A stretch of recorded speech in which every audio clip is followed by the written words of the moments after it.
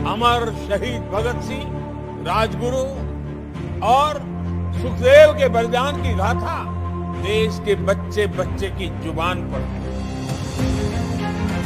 देश के लिए बलिदान देने वाले ऐसे ही होते हैं, उन्हें अमृतत्व प्राप्त होता है। वो प्रेरणा के पुष्प बनकर पीढ़ी दर पीढ़ी अपनी सुगंध बिखेरते रहते हैं।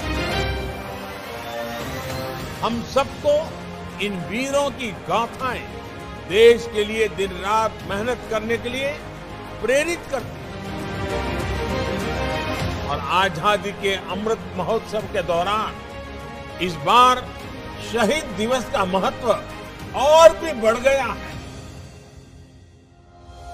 देश आज आज़ादी के लिए योगदान देने वाले नायक, नायिकाओं को नमन कर रहा है। उनके योगदान की स्मृति को ताज़ा कर रहा है। शहीद दिवस पर मैं देश के लिए अपना सर्वस्व न्योछावर करने वाले सभी वीर वीरांगनाओं को कृतज्ञ राष्ट्र की तरफ़ से भावांजलि अर्पित करता हूँ।